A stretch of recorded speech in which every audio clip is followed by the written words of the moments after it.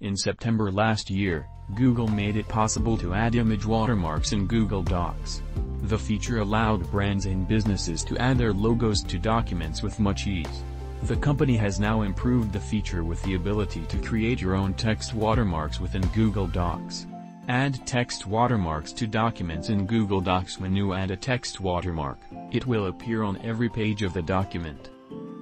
The feature is ideal for adding the confidential or draft watermark in official documents. The best part, however, is that your text watermarks are preserved when you're importing or exporting Microsoft Word documents. To add a text watermark in Google Docs, navigate to Insert, Greater than Watermark, Greater than Text and type the text.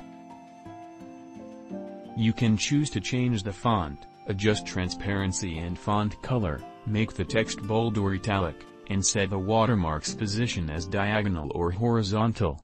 Check out the feature in action below. Image, Google If you see gaps in the watermark, Google notes that it could be because of the document text's background color.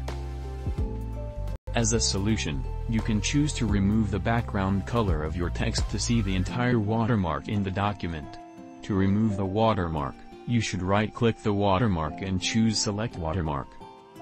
From the side panel that appears now, click on Remove Watermark.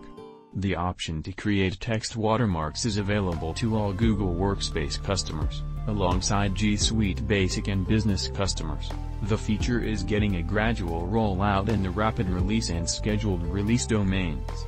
The rollout started on January 24 in the rapid release domain, with scheduled release domain rollout expected on February 14. If you're not immediately seeing it, don't worry as it could take up to 15 days for the feature to appear on your end.